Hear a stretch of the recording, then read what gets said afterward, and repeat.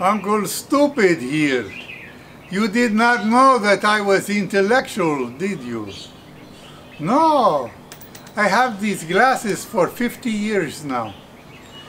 They were prescribed to me by an eye doctor in Odessa.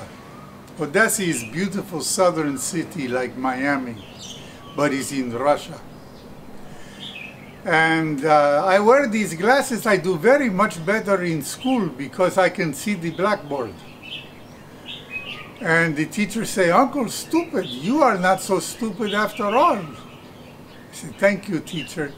Don't thank me, thank the glasses.